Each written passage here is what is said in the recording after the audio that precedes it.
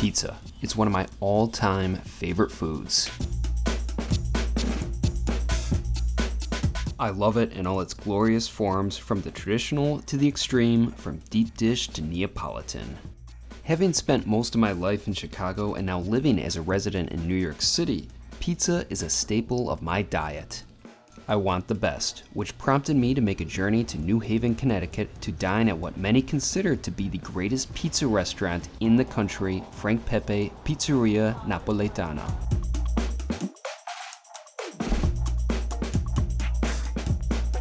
And here it is, the original Frank Pepe's since 1925, almost 100 years old. This place put New Haven on the map. In terms of pizza, that is, and pretty much founded what we think of New Haven style pizza.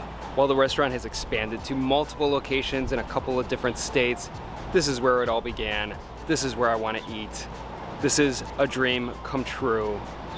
This is a bucket list restaurant for every pizza fan out there. And now it's time for me to eat some pizza.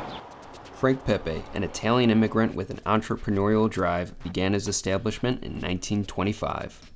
Pepe started off by selling bread, but then offered two kinds of pizza, or as they say in New Haven, a beets, which takes after the Neapolitan dialect. I arrived right when the establishment opened, so it wasn't very crowded, but it quickly filled up. Made it to Frank Pepe's, a bucket list restaurant, pure and simple. Pizzas at Pepe's come in three sizes, small, medium, and large, with a small measuring 12 inches. Both my pizzas were smalls. I just placed my order. I got two pizzas. I don't know if I can finish, but I traveled a long way to get here.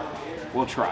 I got the white clam pizza, had to, and a traditional original tomato pie. Like for the past two days, I couldn't even sleep because I've been dreaming about the pizza from this place.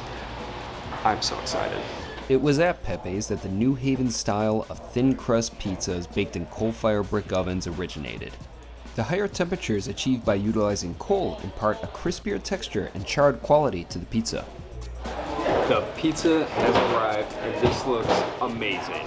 I'm gonna try the original tomato first. Really tiny slices, but nice to eat. Number one pizza in the US. Here we go. Dreams do come true.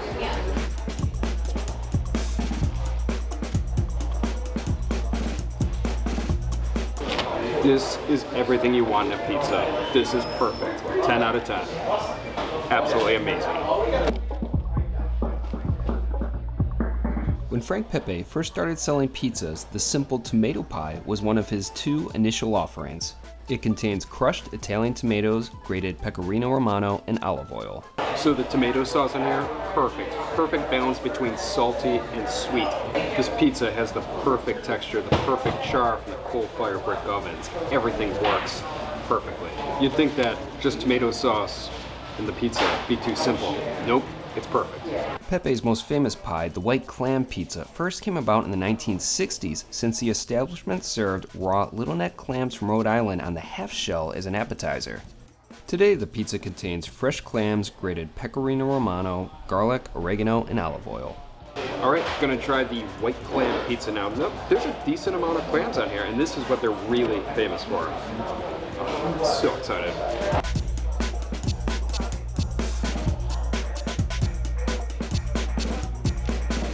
That is perfect.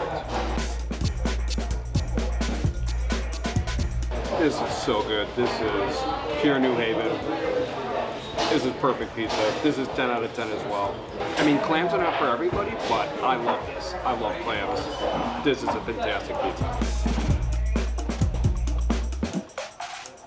By the way, when the pizza was first brought out, I could smell the clams. It was such a strong, beautiful, sea-like flavor. I loved it. It tastes amazing. Pizzas at Pepe's are cut somewhat randomly, as some slices resemble more traditional sizes while others are small and would only take a few bites to consume.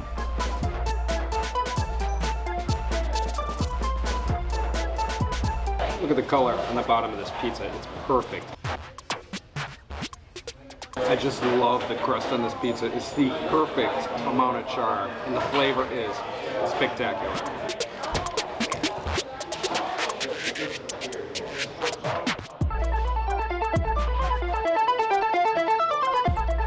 The pizza is also super thin and light. At first, I was a little intimidated. I thought, you know, maybe two pizzas is a little too much, but I think I'll be able to finish it. Plus, it's so damn good, I'm gonna finish anyways. With food that spectacular, finishing it wasn't a problem at all. That was some of the greatest pizza I've ever had. That was perfection. Plus, it's a good thing I came when I did, right at 11 o'clock when it opened, because there's already a significant line of people waiting for tables here. And it's a weekday. It's a popular place. I mean, it is the best, so you expect that.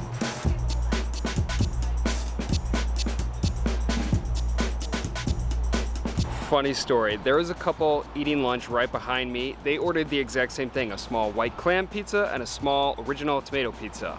They split it among themselves and they couldn't finish it. I, on the other hand, finished everything. I feel like if you've journeyed as far as I have, made a pizza pilgrimage, you really should get more than one flavor of pizza. I am full, but I'm certainly not stuffed. I skipped breakfast so I can concentrate on the important things, pizza. If you can't finish everything, no big deal. Just get some leftovers. That's what I would have done, but I ate it all, so damn good. I am so happy I journeyed here to New Haven. I feel like it gives me some pizza street cred. Obviously, New Haven will never have the quantity of pizza establishments like New York City or Chicago, but what it does have is quality. It's got some really, really amazing places. Without a doubt, the pizzas I had at Frank Pepe's were among the best I've ever had.